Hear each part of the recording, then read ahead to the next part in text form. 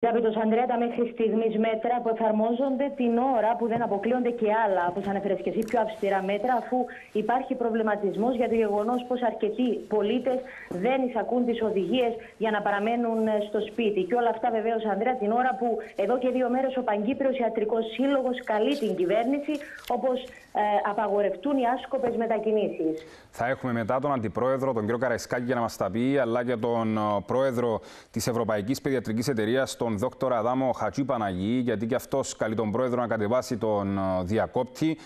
Και αναμένουμε τα νέα μέτρα που ενδεχομένως να ανακοινώσει η κυβέρνηση στην Άσια, γιατί ακούγονται πολλά και για τα εργοτάξια και για τις ε, συναθρήσεις στις λαϊκές αγορές, αλλά και για το ότι μαζεύεται κόσμος σε ανοιχτούς χώρους, πάρκα, παραλιακές. Επομένως, ε, είμαστε σε αναμονή των ανακοινώσεων της κυβέρνησης μετά το τέλος της υπουργική σύσκεψης. Έχουμε όμως 95 κρούσματα κορονοϊού και τέθηκαν σε αυτοπεριορισμό τα μέλη της ε, ομάδας επιστημόνων που συμβουλεύουν τον Υπουργό Υγείας. Εκεί τι γίνεται; Να πούμε ότι τέθηκαν ε, σε αυτοπεριορισμό, Ανδρέα, τα μέλη της ε, ομάδας, αφού ε, είχαν παρευρεθεί σε σύσκεψη στο Γενικό Νοσοκομείο Λέμεσου και χθες φαίνεται να επιβεβαιώθηκε ένα από τα άτομα που βρισκόταν στη σύσκεψη.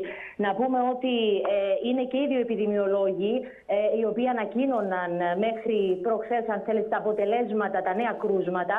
Δεν έχουν βγει ακόμη τα αποτελέσματα, ωστόσο τρία από τα μέλη έχουν αρνητικό αποτέλεσμα σύμφωνα με με πληροφορίες. Άρα έχουν εξεταστεί τρεις με αρνητικό αποτέλεσμα και όλοι οι υπόλοιποι είναι σε αυτοπεριορισμό και περιμένουν τα αποτελέσματά τους.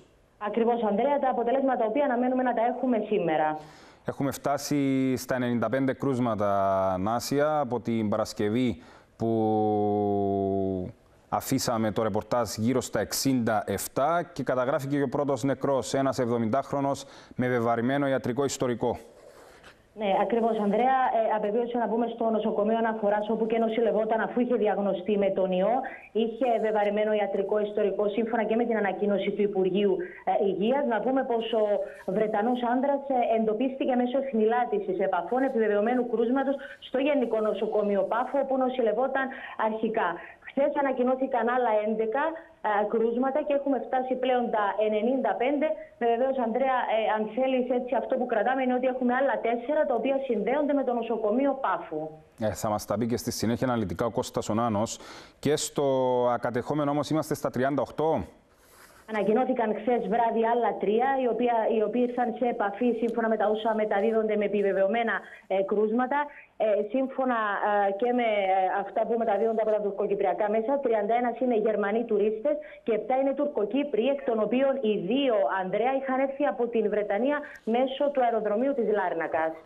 Νάσια, να δούμε λίγο την κατάσταση με όσους ανθρώπους νοσηλεύονται ή έχουν πάρει εξιτήριο. Τι λένε εκεί τα δεδομένα μας; Έχουμε μέχρι στιγμής, Ανδρέα, τρία εξητήρια. Βεβαίως, αυτοί οι τρεις ασθενείς βρίσκονται ε, σε περιορισμό για κάποιες μέρες.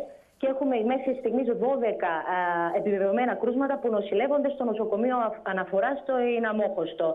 Και έχουμε και τρία άτομα τα οποία νοσηλεύονται κρίσιμα στην εντατική της ε, Λέμεσου και άλλα δύο στη Λευκοσία. Μάλιστα. Νάσια, σε ευχαριστούμε πάρα πολύ.